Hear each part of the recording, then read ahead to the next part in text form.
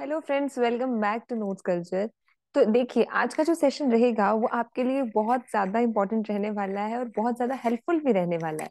क्योंकि बच्चों को सबसे ज़्यादा प्रॉब्लम आती है एंटोमोलॉजी और पैथोलॉजी के अंदर कि भाई इतने सारे पेस्ट हैं, इतनी सारी डिज़ीज़ है क्या क्या याद रखें, इसमें क्या क्या समझें, कितना याद रखें हम? है ना? तो स्पेशली जब खुद से हमें पढ़ना पड़ जाता है इतना तो हमें समझ में नहीं आता है कि इसको किस तरीके से करें। तो हमें ऐसा ऐसा फील होता है कि हाँ अगर कुछ समझा देना थोड़ा सा सिंपल सिंपल कि बेसिक बेसिक क्या क्या चीज़ें पढ़नी है क्या क्या इंपॉर्टेंट है क्या क्या याद रखना है। एक बार बता दे तो उसके बाद हम उसको रिवाइज कर लेंगे। राइट ऐसा ही होता है। ठीक है? तो ये आपको इसी का सोचते हुए हम क्या लेकर आए हैं? हम जो चार्ट रिप्रेजेंटेशन लेकर आए हैं, जैसे कि आप यहाँ पे स्क्रीन पे आप देखें।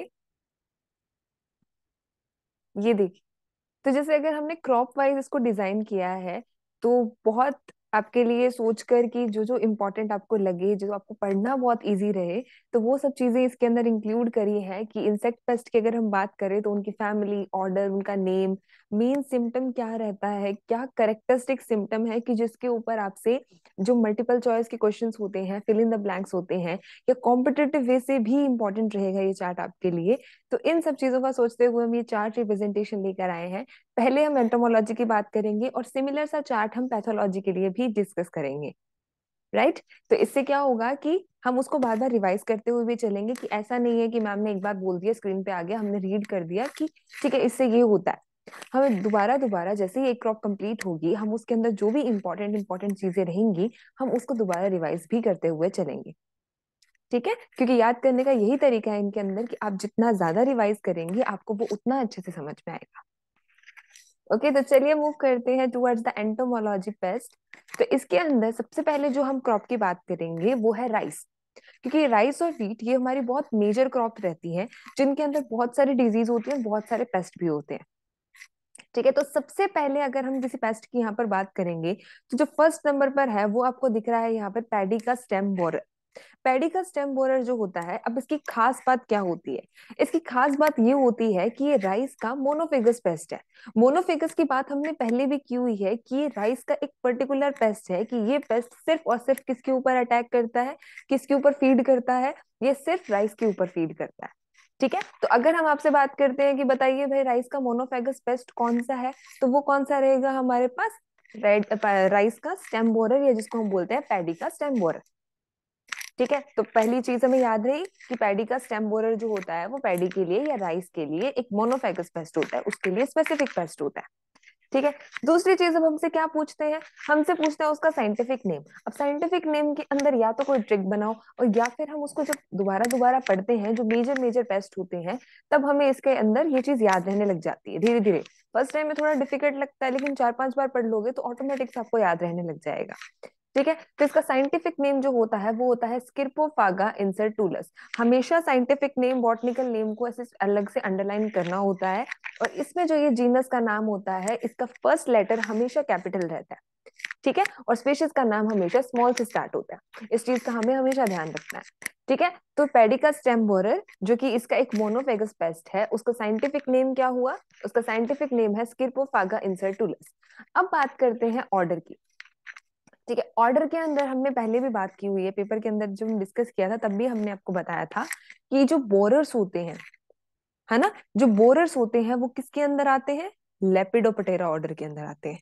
जितने जो बोरर्स रहते हैं, ये बोरर किसमें आते हैं? जो कैटरपिलर होते हैं बोरर होते हैं, ये किसके अंदर आते हैं हमारे पास?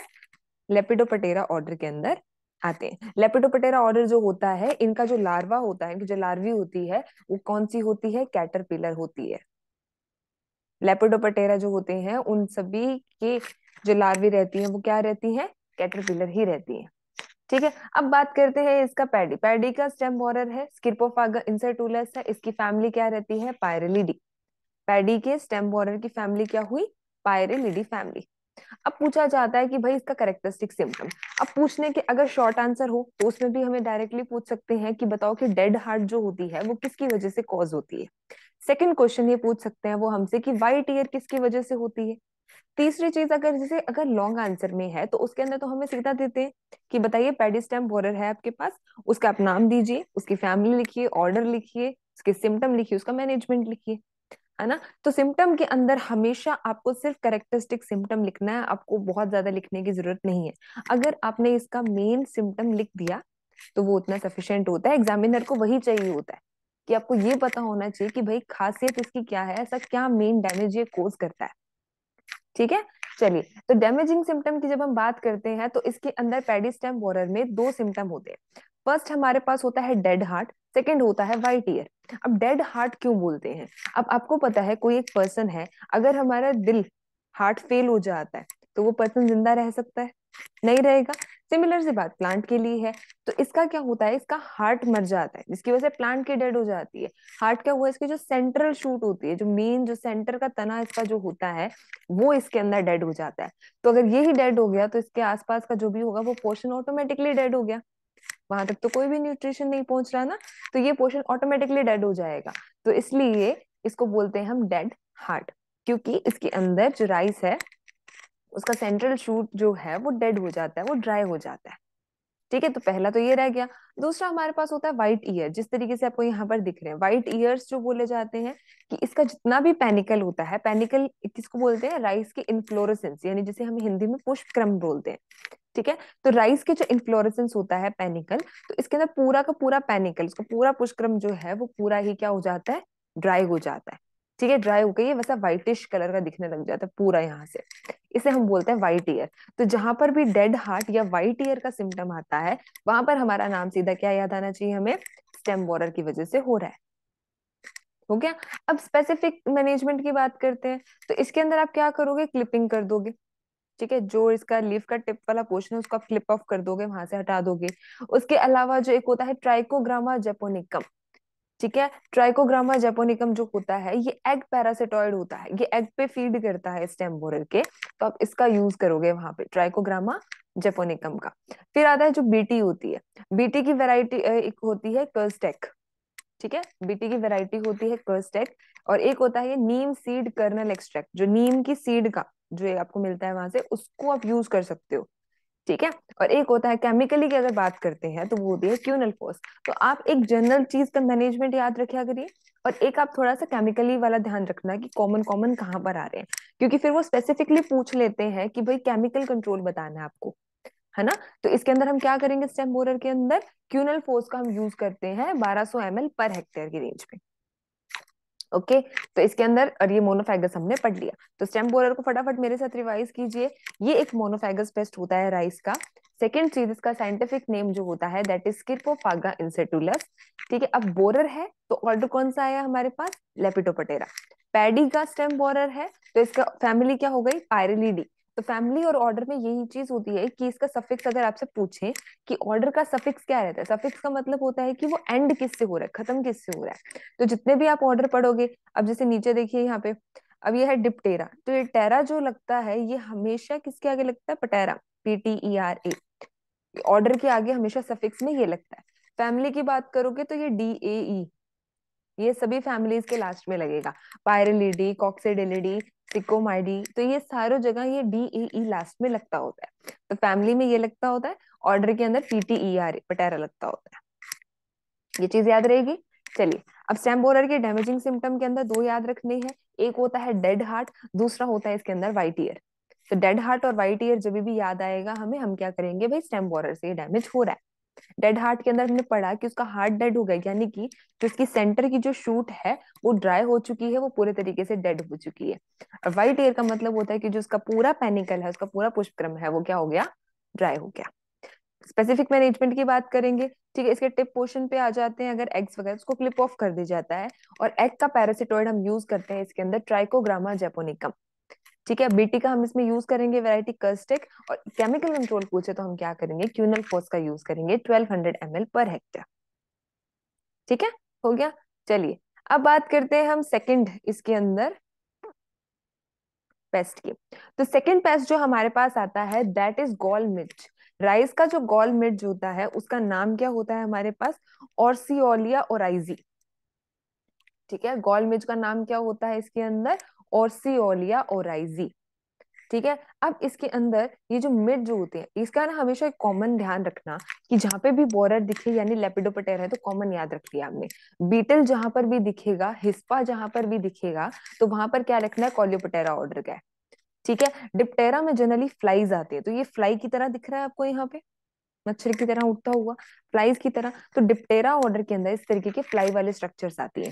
ठीक है तो इसके अंदर ये जो गॉल मिड्स होता है, इसका ऑर्डर क्या रहता है हमारे पास? डिप्टेरा रहता है। इसका नाम क्या होता है? गॉल मिड्स और सियोलिया और राइजी ठीक है और सियोलिया और राइजी ठीक है, इसकी फैमिली क्या होती है?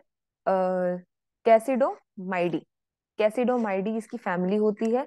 और सियोलिया और राइजी गॉल मिर्च का एक इसकी क्या होता है साइंटिफिक नेम होता है, ठीक है? अब पूछा जाता है इसका डैमेजिंग सिम्टम जो इसका बहुत फ़ेमस होता है या सिर्फ़ इसके लिए स्पेसिफिक होता है तो वो इसके अंदर नाम हमारे पास आता है कि इसके अंदर ट्यूब लाइक गॉल बन जाती है गॉल लाइक स्ट्रक्चर इस तरीके से, ठीक है? एक गॉल लाइक स्ट्रक्चर बन जाती है इसके अंदर, जो कि अनियन लीफ की तरह दिखती है है ना? प्याज होते हैं, ठीक है? इस तरीके से ठीक है? जो अनियन की जो लीव्स होती हैं, उसकी तरह दिखने लग जाती है। तो इसलिए इसको बोलते हैं अनियन लीफ या सिल्वर शूट जिस तरीके से हमने ऊपर दो नाम याद रखे कि डेड हार्ट और व्हाइट ईयर जहाँ पर भी आएगा, वहाँ स्टेम बोरर आएगा। और जहाँ पर भी अनियन लीफ या सिल्वर शूट आएगा तो इसके अंदर इस तरीके से ट्यूब लाइक स्ट्रक्चर बन जाते हैं ट्यूब सी बन जाती है, जो एकदम प्याज की पत्तियों की तरह दिखती है, आपको अनियन की लीव्स की तरह दिखती है। यानी ये सिम्टम किसने किया है? गॉल मिर्च ने किया है। इसका नाम क्या होता है? इसका नाम होता है ऑर्सियोलिया और राइजी ठीक है? और सियोलिया और आइजी होता है। कैसिडोमाइडी इसकी फैमिली होती है। मिर्ज है, इसका डायग्राम हमने देखा, भाई उड़ता हुआ दिख रहा है, मच्छर ये इसकी तरह हमारी फ्लाइज की तरह दिख रहा है। तो इसलिए जो फ्लाइज वाला जो मेजर आती है, जो फ्लाइज आती है, वो किसमें आती है? डिप्टेरा ऑर्डर के अंदर आती है। ठीक है? ये चीज़ हो गया। अब इसके अंदर आप कंट्रोल कैसे कर सकते हो? जिस तरीके से आपने ऊपर क्या किया है यहाँ पे? आपने एग का पैरासिटोइड लेकर आए ट्राइकोग्रामा का यूज़ किया हमने। सिमिलर सी इसके अंदर भी हम क्या करते हैं, इसमें हम लार्वा का पैरासिटोइड लेके आते हैं। लार्वा का पैरासिटोइड इसमें क्या होता है? प्लानिगेस्टर और राइजी प्लानिगेस्टर और राइजी इसके अंदर इसका होता है। ठीक है लार्वा का पैरासिटोइड होता है लार्वा के ऊपर फ़ीड करता है ये। ओके और इसके लिए कुछ रेजिस्टेंट वेराइटी हम लेके आते हैं, शक्ति, विक्रम, ये इसकी रेजिस्टेंट वेराइटी होती है, जिसके ऊपर गॉल मिर्च का अटैक नहीं होता है। ओके क्लियर है? अब एक इंपॉर्टेंट पॉइंट जो डायरेक्टली आपसे पूछ लिया जाता है कि बताइए कि गोल किसका मॉडिफिकेशन होता है। तो जो गोल होता है वो बेसिकली अलग अलग जगह जब गोल का फॉर्मेशन होता है तब ये अलग अलग प्लांट टिश्यू के पार्ट से मॉडिफाइड होता है। लेकिन इसके, इसके अंदर जो गोल का मॉडिफिकेशन हो रहा है ये उसका एक मॉडिफाइड शीत है जो ये जो लीफ की जो शीत होती है ठीक है? तो इसकी शीत का ही मॉडिफिकेशन होता है। तो अगर आपसे पूछे कि गोल किसका मॉडिफिकेशन है इसके अंदर तो वो शीत का मॉडिफिकेशन है। ठीक है? केमिकल रिस्पॉन्सिबल इसके लिए केमिकल रिस्पॉन्सिबल कौन सा है, ये कैसे याद रखोगे आप? इसको लिंक करो इसकी फैमिली से। फैमिली क्या पढ़ी आपने? कैसिडोमाइडी ठीक है? तो इसके अंदर कैसिडोजन इसका क्या हो जाएगा? केमिकल हो जाएगा। ठीक है? इस तरीके से हमें लिंक करके याद रखना है। तो गोल मिर्च के अंदर हमने क्या पढ़ा? पहले तो गोल मिर्च याद करते ही यहाँ पे हमें ये फ़ोटो याद आनी चाहिए कि यहाँ पे हमने ये फ़ोटो देखी थी। तो फ्लाई की तरह दिख रहा था तो हमने डिप्टेरा ऑर्डर याद किया। ठीक है? उसके बाद हमने याद किया इसका साइंटिफिक नेम इसका साइंटिफिक नेम क्या होता है? ओरो ओरो करके इसका नाम है। ठीक है? गोल मिर्च का ओरो ओरो करके इसका नाम है। तो ऑर्सियोला ओराइजी ठीक है? ऑर्सियोला ओराइजी इसका नाम हो गया। अब हमें कैसिडो से दो चीज़ें याद रखनी है। इसकी फैमिली भी कैसिडोमाइडी है और गॉल फॉर्मेशन के लिए जो केमिकल रिस्पॉन्सिबल रहता है, जिस केमिकल के कारण ये गॉल फॉर्मेशन होता है, वो केमिकल क्या होता है? कैसिडोजन होता है। दो इसे याद रखें। अब नाम आया इसके अंदर गोल का। तो अगर हमसे पूछें कि गोल किसका मॉडिफिकेशन रहता है तो वो किसका रहता है? शीत का मॉडिफिकेशन होता है। है ना? तो हमें एकदम ऐसे पूरी थ्योरी के ऐसे कहानी सी बना के हमें इसकी पूरी चीज़ें याद रखती है। कि हमने उस गाल मिर्च की कहानी के अंदर हमने क्या क्या चीज़ें पढ़ी क्या क्या चीज़ें इसके पार्ट इंपॉर्टेंट है। हो गए हमारे? लार्वा पैरासिटोइड हम इसमें क्या यूज़ करते हैं? प्लानिंग गैस्टर और आईजी, या फिर हम इसके लिए कुछ रेजिस्टेंट वेराइटी लगा देंगे, लाइक शक्ति, विक्रम, सुरेखा एमडीयू थ्री जो भी एक दो याद रहे आपको। ओके? चलिए।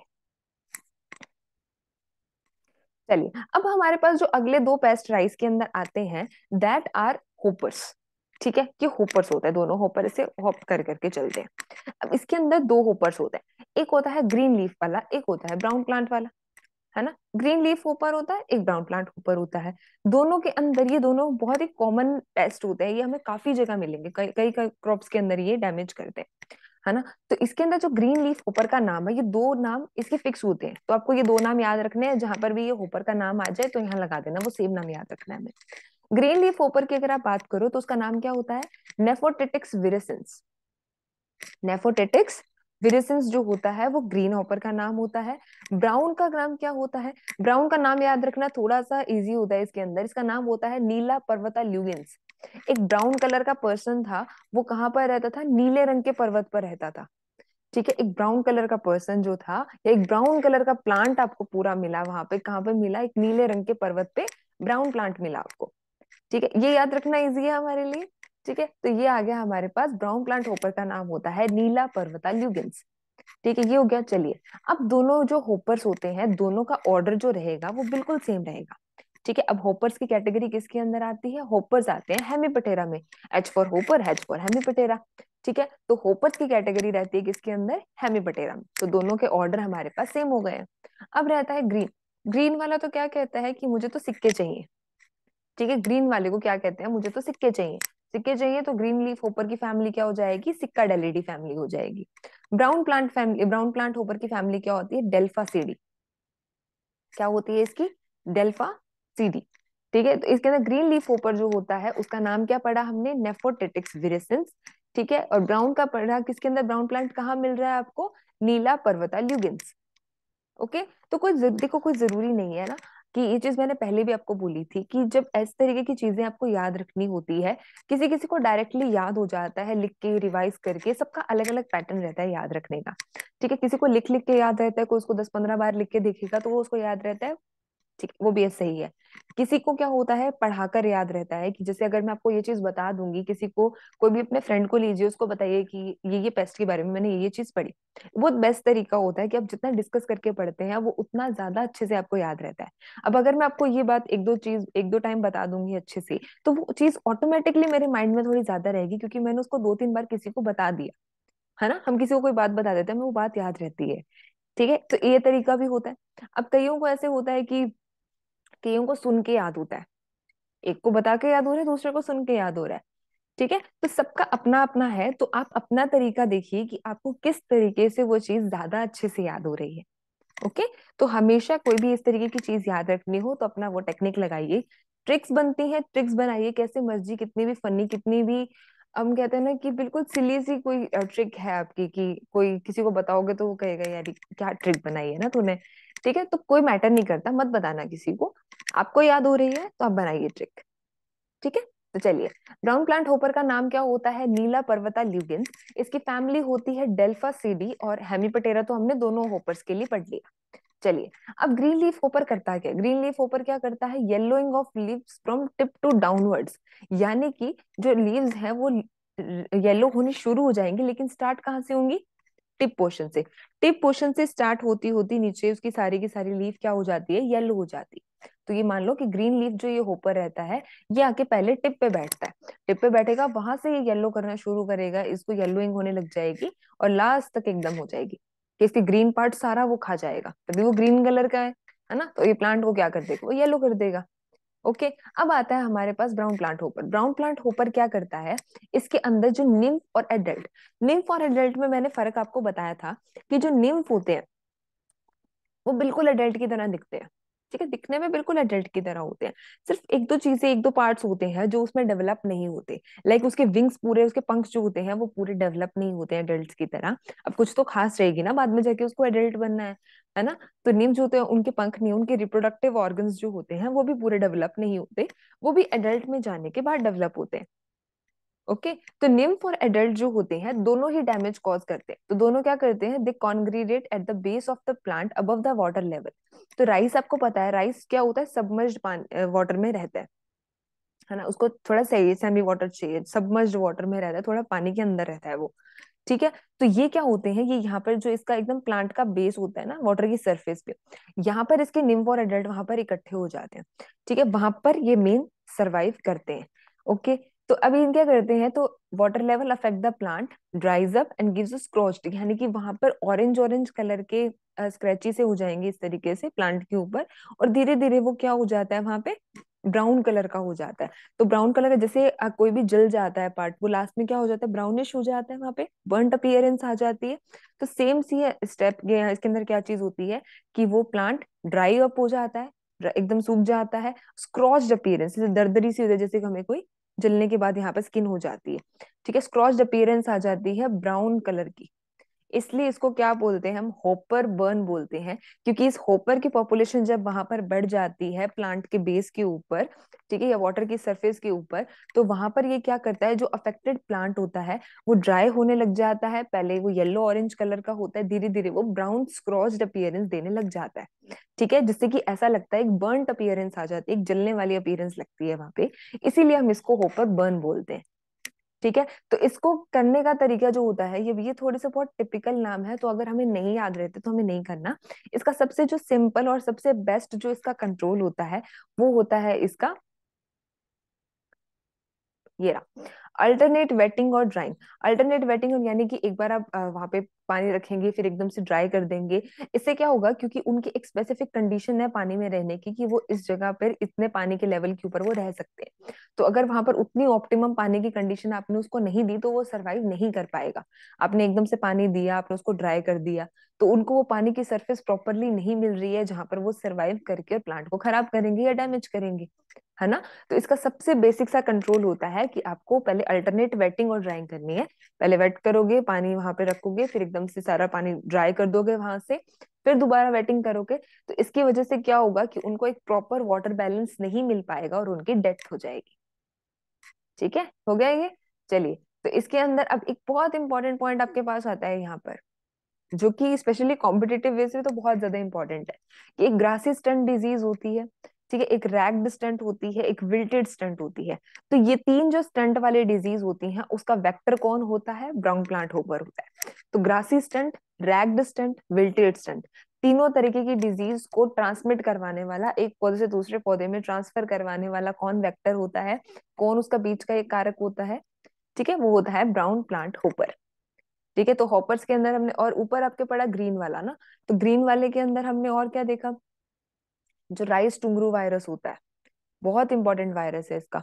राइस टुंगरू वायरस है, ये जो राइस के अंदर जो येलोइंग होती है, उसके लिए रिस्पॉन्सिबल होता है ग्रीन लीफ होपर तो दोनों होपर को एक साथ रिवाइज करो। होपर है तो सीधी सी बात है ऑर्डर क्लियर है हमें कि हेमीपटेरा ऑर्डर से होगा वो। ठीक है? ग्रीन लीफ होपर का नाम क्या पढ़ा हमने? नेफोटिटिक्स विरिसेंस ठीक है? ब्राउन का क्या पढ़ा हमने? ब्राउन प्लांट कहाँ पे मिल रहा है? नीले रंग के पर्वत पे तो इसका नाम होता है नीला पर्वता, ल्यूगेंस। ठीक है? चलिए, अब इसके बाद इसकी फैमिली की बात करते हैं। तो ग्रीन वाले जो लीफ ऊपर है, उसको कहते हैं, मुझे तो सिक्का दो और उसके बाद फिर मैं जाऊँगा, फिर मैं अटैक नहीं करूँगा, मुझे सिक्के चाहिए। तो उसकी फैमिली कौन सी हो जाती है? सिक्का डेलिडी फैमिली हो जाती है ग्रीन वाले की। ब्राउन वाले की क्या होती है? डेल्फा सीडी फैमिली होती है। अब बात की हमने ग्रीन वाला। ग्रीन लीफ ऊपर उसका कलर ग्रीन क्यों है? क्योंकि वो प्लांट का सारा ग्रीन कंटेंट खा जाएगा। तो वो क्या करता है? टिप पे आके बैठ जाता है। तो टिप से लेकर, टिप से स्टार्ट होकर फिर बेस वाले पोर्शन तक सारे के सारा जो लीफ पार्ट होता है, वो क्या हो जाता है? येलो हो जाता है। ठीक है? येलोइंग कर देता है क्योंकि सारा ग्रीन कंटेंट वो ले जाता है। ठीक है? तो इसके लिए आप रेजिस्टेंट वेराइटी लगाओगे। यहाँ पे आई आर सेवन इसके अंदर आती है सिक्सटी आ जाती है C R one zero zero nine आ जाती है या सी ओ फोर्टी सिक्स आ जाती है। सीओ फोर्टी सिक्स एक याद रख लेना। ठीक है, अब ये जो होता है राइस का टुंग्रो वायरस होता है, वो बहुत ही इंपॉर्टेंट डिज़ीज़ होती है, टुंग्रो डिज़ीज़ ठीक है वायरस से कॉज होती है तो उसका ये वेक्टर होता है। ठीक है तो टुंग्रो का वायरस का जो होता है, वो वेक्टर कौन होता है? ग्रीन वाला होता है। ओके और इसके अलावा ब्राउन की बात करते हैं तो ब्राउन के अंदर हमने क्या पढ़ी यहाँ पे कि इसके निम्फ होते हैं और जो एडल्ट होते हैं दोनों जो प्लांट का बेस होता है, जैसे यहाँ पर ये पानी यहाँ तक है तो प्लांट का जो बेस है, जो पानी की सरफेस है, यहाँ पर वो ब्राउन प्लांट होकर रहेंगे। ठीक है, रहने के बाद वहाँ पे जैसे उनकी पॉपुलेशन बढ़ती है, वो वहाँ फ़ीड करते हैं डैमेज करते हैं तो वहाँ पे क्या हो जाती है? ड्राइनेस आने लग जाती है। वहाँ पे येलोइश ऑरेंज कलर का होता है और धीरे धीरे वो ब्राउन कलर की स्क्रोच्ड अपियरेंस आती है। ठीक है, जिससे कि ऐसा लगता है कि वहाँ पे वो पोर्शन जल गया है प्लांट का। इसलिए इसको बोलते हैं होपर बर्न क्योंकि होपर के आने की वजह से वो बर्न अपियरेंस आई है। ठीक है? इसके लिए सबसे बेस्ट सोल्यूशन होता है कि हम अल्टरनेट वेटिंग और ड्राइंग करेंगे, क्योंकि होपर को एक ऑप्टिमम पानी की कंडीशन चाहिए कि वो पानी की इतनी सरफेस के ऊपर सर्वाइव करेगा। तो आपने एकदम से वेट करके एकदम से ड्राई कर दिया तो वो सर्वाइव वहाँ पर नहीं कर पाएँगे। और ये ब्राउन प्लांट होपर कौन कौन से वेक्टर किस किस डिज़ीज़ के वेक्टर होते हैं? तो ये होते हैं ग्रासी स्टंट के रैग्ड स्टंट के और विल्टेड स्टंट के। तीन स्टंट वाली जो डिज़ीज़ होती है, ये किससे ट्रांसमिट होती है? ये होती है ब्राउन प्लांट होपर से। ठीक है? चार पेस्ट पढ़े हमने। चलिए। ओके नेक्स्ट चलते हैं हम। प्राइस कितने? टोटल देखते हैं हम कितने हैं। ओके इलेवन पेस्ट पढ़ने हैं, चार हमने पढ़ लिए हैं। चलिए अगला देखते हैं हम इसके अंदर। अब एक और देखो, एक और होपर आ गया हमारे पास व्हाइट बैग्ड प्लांट होपर ठीक है, ये लगभग वैसा सही है उसकी तरह ही ओपन बर्न की तरह ही ब्लैक इसका बस नाम क्या होता है? अब इसके देखिए व्हाइट बैग्ड इतनी सुंदर से इसके व्हाइट कलर की ट्रांसपेरेंसी बैक है इसकी। ठीक है, इसका नाम होता है सोगा सोगाटेला फर्सीफेरा सोगाटेला फर्सीफेरा अब इसकी और ब्राउन प्लांट की फैमिली ऑर्डर सब सेम है दोनों का। ठीक है, सिर्फ़ नाम में फ़र्क है। सिम्टम भी इसका यही रहेगा, इसमें ग्रीन प्लांट वाला और ब्लैक वाला इन्होंने दोनों का इकट्ठा सिम्टम ले लिया। कि ग्रीन वाले के अंदर आपने क्या पढ़ा था? कि भाई लीफ टिप से लेकर डाउनवर्ड तक वो पूरी क्या हो जाती है? येलो होने लग जाती है। ठीक है, इसके अंदर भी क्या होता है? बस टिप से डाउनवर्ड मूव हो रहा है होपर बर्न हो रहा है। सेम ही सिम्टम है उनकी तरह होपर्स की तरह।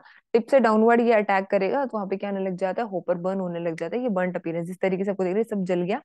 ब्राउन कलर का हो गया पूरा, जल चुका है ये टिप से लेकर लास्ट बेस तक, ठीक है? तो ये चीज़ इसके अंदर आ जाती है। डेल्फेसिडी और हेमिपटेरा दोनों में सेम था। ब्राउन प्लांट होपर में भी यही है और व्हाइट बैट वाले प्लांट होपर में भी यही है। ठीक है, सिर्फ़ इसके नाम में फ़र्क है। सोगाटेला फर्सी फेरा ओके ये चीज़ हो गई। इसके बाद आता है एक लीफ फोल्डर आता है। ठीक है फोल्डर किसमें आए? पहले हमने पढ़ा बोरर किसमें आए? लेपिडोपटेरा में आए। अब हम पढ़ेंगे कि फोल्डर किसके अंदर आ रहा है? फोल्ड कौन कर रहा है? वो भी कौन कर रहा है? लेपिडोपटेरा वाले कर रहे हैं। तो हमने स्टार्टिंग वाला याद रखो। फ़र्स्ट हमने क्या पढ़ा था? जो उसका मोनोफेगस पेस्ट था। मोनोफेगस पेस्ट जो था, वो क्या था? राइस का या पैडी का स्टेम बोरर था।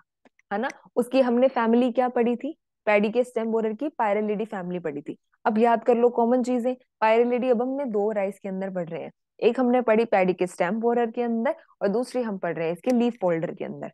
तो राइस का स्टेम बोरर हो चाहे राइस का लीफ फोल्डर हो, दोनों ये फैमिली क्या रहेगी हमारे पास? पायरेलिडी फैमिली रहेगी और लेपिटोपटेरा ऑर्डर रहेगा। दो की एक साथ याद हो गई हमें। इसका नाम क्या होता है? इसका नाम होता है कैनल और क्रोसिस मेडिनेल्स। ठीक है? नेफ्लोक्रोसिस और मेडिनेल्स इसका नाम हो गया। बाकी इतने टिपिकल नाम आपके एग्ज़ाम में नहीं पूछते आपसे पूछेंगे तो बहुत स्पेसिफिक पूछेंगे, गंदी पूछते हैं, या फिर आपका जो ये सैमोरर हो गया होपर्स हो गए तो बहुत जनरल चीज़ें वैसे पूछी जाती हैं। बट ठीक है, हम अभी इनिशियल फ़ेज़ में हम तैयारी कर रहे हैं तो एग्ज़ाम के टाइम पे जो मेजर मेजर है वो अच्छे से रिवाइज रखना, इनको थोड़ा थोड़ा ध्यान में रखना कि ऑब्जेक्टिव में कहीं मिलता जुलता नाम आ जाए तो हमें थोड़ा याद रहे कि हमने किससे रिलेटेड पढ़ा था ये। ठीक है? इंपॉर्टेंट आपके जो स्टार्टिंग वाले हमने पढ़े ये चार जो थे ये बहुत इंपॉर्टेंट है। इनके सिम्टम बहुत स्पेसिफिक है इसलिए। ठीक है? चलिए लीफ फोल्डर का नाम होता है नेफ्लोक्रोसिस मेडिनल्स इसके अंदर स्टेम की तरह ही सेम फैमिली होती है सेम ऑर्डर होता है इसके अंदर तो दो चीज़ें तो सेम रह गई हमारे पास।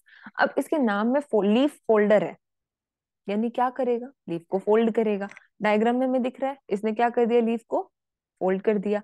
लीफ फोल्ड लॉन्गिट्यूडनली यानी लॉन्गिट्यूडनली नहीं लेंथ वाइज ऐसे लेंथ वाइज ये फोल्ड हो जाएगी लीफ ठीक है? तो इसके अंदर लार्वा उसका अंदर रह जाता है और ऊपर से लीफ को फोल्ड कर देता है, ठीक है? लीव लार्वा इसका लार्वा जो अंदर रह जाता है तो अंदर जाके उसका सारा ग्रीन टिश्यू जो होता है, उसको ऐसे, इसके कहते हैं ना, किसी को में से खरोचते हैं, खुदरते हैं इस तरीके से। तो इस तरीके से क्या करता है? स्क्रैप कर देता है पूरे ग्रीन टिश्यू को। ठीक है स्क्रैच कर करके कर करके सारा ग्रीन कंटेंट जितना भी ग्रीन टिश्यू है, वो ले लेता है वो। इस वजह से वो लास्ट में जाके क्या हो जाता है, वो व्हाइट हो जाते हैं ड्राई हो जाते हैं। है ना? तो लीफ फोल्डर का नाम नाम से पता लग रहा है लीफ को फोल्ड करेगा।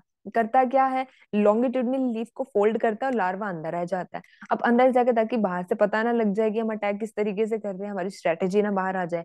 तो हम क्या करते हैं, इसके अंदर इसके लार्वा अंदर जाएँगे, उसका सारा लीफ ग्रीन कंटेंट जो है, उसको स्क्रैच करते हैं स्क्रैप करते हैं और पूरे ग्रीन टिश्यू पे फ़ीड कर देते हैं, जिसकी वजह से वो लीव्स जो हो जाती है, वो व्हाइट हो जाती है और ड्राई हो जाती हैं।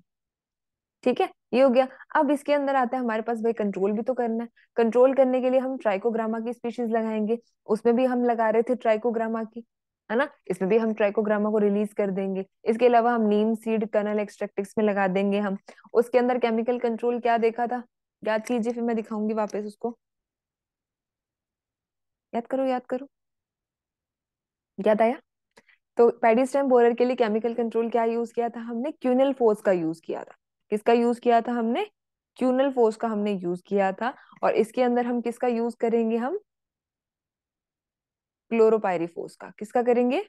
क्लोरोपायरीफोर्स ये क्लोरोपायरीफोर्स तो बहुत ही इंपॉर्टेंट है, काफ़ी इस जगह दिखेगा आपको। तो इसके लिए हम क्या करेंगे? क्लोरोपायरीफोर्स का यूज़ करेंगे। ओके? क्लियर है हमें? चलिए। नेक्स्ट जो हमारे पास आते हैं, वो आता है राइस का केस वॉर्म राइस का केस वॉर्म जो है, केस किसको बोलते हैं? कुछ डब्बी होती है, वो केस होता है, जिसके अंदर से की कोई रिंग रखी हुई है या कोई भी चीज़ पड़ी है तो उसका केस होता है वो, डिब्बा होता है उसका। ठीक है तो इस तरीके से राइस का केस वॉर्म होता है। इसका नाम क्या होता है? निम्फ्यूला depunctalis nymphula depunctalis फिर से सेम याद इसके अंदर करना है। एक और उसके अंदर मेंबर आपका जुड़ चुका है पेडी स्टेम बोरर पढ़ा हमने। उसके बाद आपने पीछे लीफ फोल्डर पढ़ा। लीफ फोल्डर के बाद तीसरा आता है केस वॉर्म तीनों की फैमिली तीनों का ऑर्डर जो है वो बिल्कुल सेम है। इसको एक जगह लिख के रख लो। इसी तरीके से हम याद करते हैं ट्राई करना है जितना कम से कम मैटर हम कर सके, है ना? तो यही हम बात कर रहे हैं, तीन चीज़ें हैं, तीन चीज़ों की फैमिली तीनों चीज़ों का ऑर्डर जो है वो बिल्कुल सेम आ गया हमारे पास। इसका केस फॉर्म का नाम क्या होता है? निम्फ्यूला डी पंक्चुअली ठीक है? केस के अंदर आपने क्या डलवाया? फ्यूल डलवाया। तो निम्फ्यूला डी पंक्चुअली ठीक है? ये हो गया। उसके बाद इसके अंदर सीधी सी बात है, इसके अंदर वो क्या करेगा? एक cutting leaf tips to make the cases वो लीफ टिप को हैंग कर देता है लीफ केस को, जैसे ये ऊपर से आपको दिख रही है, यहाँ से हैंग होकर लटक गई है, यहाँ से। ठीक है, यहाँ कर देगा यहाँ अपना केस बना लेगा, अपना वो डिब्बा बना लेगा रहने के लिए। ठीक है तो मेनली किस पोर्शन पे रह गया? लीफ टिप वाले पोर्शन पे रहता है। तो ये लीफ टिप्स को कट कर देता है इस तरीके से और वो वहाँ पे हैंग कर देता है। इस तरीके से लीफ टिप्स हो जाती है लास्ट में। ठीक है, वहाँ पे वो अपने केसेस बना लेता है इस तरीके से। इसने अपना केस बना लिया, जिसके अंदर ये रह रहा है, ठीक है? तो इसके लिए एक बहुत स्पेसिफिक सॉल्यूशन होता है, जो कि करते हैं हम, जैसे passing the rope over the crop एक रस्सी सी ले ली जाती है, उसको रोप से पास की जाती है, क्योंकि ये टिप पोर्शन पे है तो उसके ऊपर रोप को इस तरीके से पास करेंगे तो वो ऊपर से जो भी उसके एग वगैरह होंगे लेके होंगे, वो वहाँ से गिर जाएँगे नीचे, ठीक है? फिर उन्हें वहाँ से कलेक्ट वगैरह करके और डिस्ट्रॉय कर दिया जाता है। ठीक है? तो ये इस मैनेजमेंट भी किसी किसी का बहुत स्पेसिफिक रहता है ना कि अगर आपसे मैनेजमेंट पूछ लें कि जैसे हमने पिछले किसका पढ़ा अभी? अल्टरनेट वेटिंग और ड्राइंग पढ़ी। तो अल्टरनेट वेटिंग और ड्राइंग बहुत एक खास एक इलाज होता है किसके लिए? ब्राउन प्लांट होपर को कंट्रोल करने के लिए।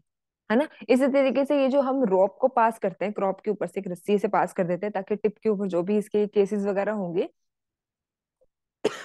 सॉरी तो ये केसेस जो होते हैं ये वहाँ गिर जाएँगे, फिर इसको कलेक्ट करके आप इसको डिस्ट्रॉय कर देना।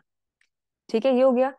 तो इसके अंदर हमें, अगर ये सिम्टम मैं आपसे डायरेक्टली पूछूँ कि बताइए कि अगर हम ये क्रॉप के ऊपर से रोप को पास कर रहे हैं तो ये किसके इलाज के लिए कर रहे हैं हम? तो आप बोलेंगे कि हम राइस के केस वॉर्म के इलाज के लिए हम ये चीज़ कर रहे हैं। ठीक है, इसकी फैमिली और ऑर्डर दोनों पैडी के स्टेम की तरह सेम है। ओके चलिए अब इसके अंदर इसका मेन काम क्या होता है? लीफ केस को हैंग करना। क्योंकि इसको हैंग लीफ को कट करता है टिप पोर्शन से ऐसे हैंग कर लेता है और वहाँ पे अपना केस बना लेता है। ओके ये हो गया।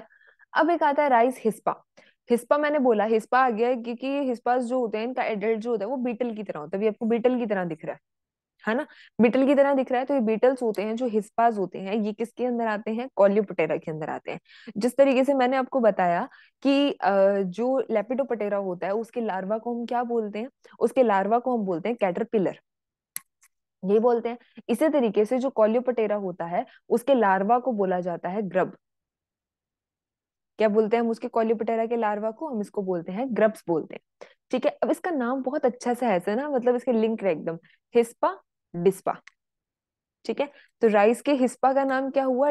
Dicladispa armigera. Rice hispa, dicladispa. तो हिस्पा और डिस्पा, इसका नाम एकदम लिंक्ड हो गया। ठीक है? अब इसके अंदर क्या होती है? कॉलियोपटेरा हिस्पा, बिटल्स आ जाते हैं। तो ये किसमें आता है? कॉलियोपटेरा के अंदर आता है। कॉलियोपटेरा से याद रखना है कि कॉलियोपटेरा की डैमेजिंग करने वाली स्टेज जो होती है, या फिर हम बोल रहे हैं कि कॉलियोपटेरा का जो लार्वा होता है, उसे क्या बोला जाता है? तो उसे हम बोलते हैं, ग्रब बोलते हैं। ठीक है? इसकी जो फैमिली होती है, वो होती है क्राइसोमेलिडी क्राइसोमेलिडी इसकी फैमिली होती है कॉलिपटेरा इसका ऑर्डर होता है, ठीक है? अब इसके अंदर ये ग्रब करते क्या है? राइस हिस्पा का काम क्या होता है? ये माइनिंग करते हैं ऐसे खोद करके ऐसे लीफ के अंदर जाते हैं माइंस बनाते हैं अंदर, ठीक है? तो ये ग्रब जो होते हैं लीफ ब्लेड के अंदर माइनिंग कर देते हैं। इसके जो एडल्ट होते हैं, वो क्या करते हैं? कि उस राइस के अंदर इस तरीके से जाएँगे, जिस तरीके से ये कर रखे हैं। और वही इनका एक ही काम होता है, ग्रीन कंटेंट यानी जो क्लोरोफिल होती है, उसके ऊपर ये फ़ीड करेंगे।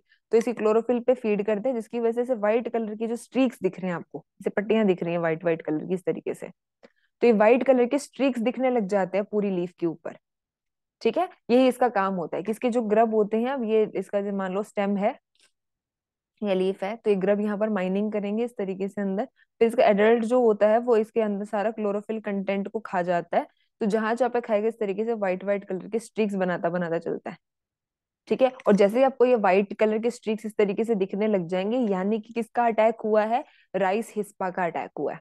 जिसका नाम क्या होता है? डिक्ला डिस्पा आर्मी जेरा ठीक है? हिस्पा आ गया कॉलिपटेरा ऑर्डर होएगा। कॉलिपटेरा और इसकी फैमिली क्या हो जाएगी? हमारे पास क्राइसोमेलिडी ओके तो इसके लिए आप क्या करते हो सेम इसके अंदर हम क्या करेंगे क्यूनल फॉस डाल देंगे और आपको फर्टिलाइज़र का यूज़ ज़्यादा नहीं करना है। ओवर फर्टिलाइज़र का यूज़ जब हम कर देते हैं तो इनका अटैक होने के चांसेस ज़्यादा हो जाते हैं। इसलिए फर्टिलाइज़र हमेशा जितना रिक्वायर्ड होता है, उतना ही देना चाहिए। ओके चलिए, अब आता है हमारे पास। अब ये एक बहुत अलग सा इसका एक खास पेस्ट है, जो होता है राइस का गंदी बग। नाम में ऐसे था गंदी गंदी से या गंध किसको बोलते हैं? स्मेल को बोलते हैं। तो इसके लिए एक स्पेसिफिक चीज़ होती है कि जब इसका अटैक होता है तो ग्रेन्स के अंदर एक बहुत स्पेसिफिक सी, बहुत बुरी सी एक स्मेल आती है। ठीक है? तो ग्राइस का गंदी बग जो होता है, इसके अंदर आपसे इंपॉर्टेंट क्वेश्चन जो पूछा जाता है, वो मैं बताऊँगी आगे, पहले इसका नाम देखते हैं। ठीक है? तो राइस का जो गंदी बग होता है, इसका नाम होता है लेप्टोकोरिसा एक्यूटा क्या नाम होता है इसका? लेप्टोकोरिसा एक्यूटा कि अब ये जो गंदी बग है, ये अपने बहुत स्मेल ग्रेन्स के अंदर कर देता है। ग्रेन्स के चारों तरफ़ लिपटा हुआ होता है है ना? ये याद करने का तरीका, सच में नहीं लिपटा हुआ होता वो। ठीक है तो लेप्टोकोरिसा एक्यूटा ये ग्रेन्स के साइड में एकदम अच्छे से लिपटा हुआ होता है, इस वजह से ग्रेन्स के अंदर बहुत ज़्यादा स्मेल आने लग जाती है। इसलिए उसको बोलते हैं उसका गंदी बग। बहुत गंदी सी गंध आती है, यानी स्मेल आती है। ठीक है तो इसका नाम होता है लेप्टोकोरिसा एक्यूटा अब इसके अंदर ये जो बग्स होते हैं बग से पहले हमने एक और क्या चीज़ पढ़ी थी, याद करो? हेमीपटेरा में आने वाली। क्या पढ़े थे हमने? होपर्स पढ़े थे? है ना? तो होपर्स हो गए जो बग्स हो गए ये किसके अंदर आते हैं हमारे पास? ये आते हैं हेमीपटेरा के अंदर। ठीक है? ये हो गया, अब इसकी फैमिली होते कॉरिडी। क्या फैमिली हुई इसकी? कॉरिडी फैमिली है। लेप्टोकोरिसा से याद रहेगा, अब गंदी बग जो है वो बहुत स्मेल कर रहा है, ग्रेन के साइड में लिपटा हुआ है लिपटा हुआ, यानी इसका नाम क्या है? Leptocorisa acuta.